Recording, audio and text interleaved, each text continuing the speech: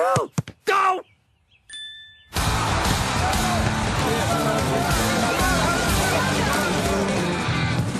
Bagi memastikan mereka tidak ketinggalan dalam pendidikan, enam anak orang asli ditaja melanjutkan pelajaran ke luar negara. Jurusan ditawarkan kejuruteraan, perubatan dan perakaunan. Kita tempatkan mereka ya di untuk peringkat persediaan ini di beberapa kolej yang ada di bawah Mara di sini. Ya, dalam jangka masa yang tertentu sebelum mereka bertolak ke tempat-tempat seperti Australia, New Zealand, India dan sebagainya. Katanya tajaan ini dibuat Jabatan Hal Ehwal Orang Asli dengan kerjasama MARA. Setakat ini 232 orang asli diberi peluang melanjutkan pelajaran di IPT tempatan.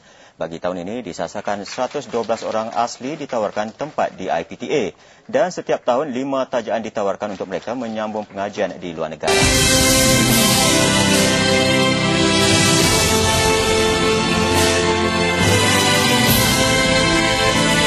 Sudah berada di landasan yang betul.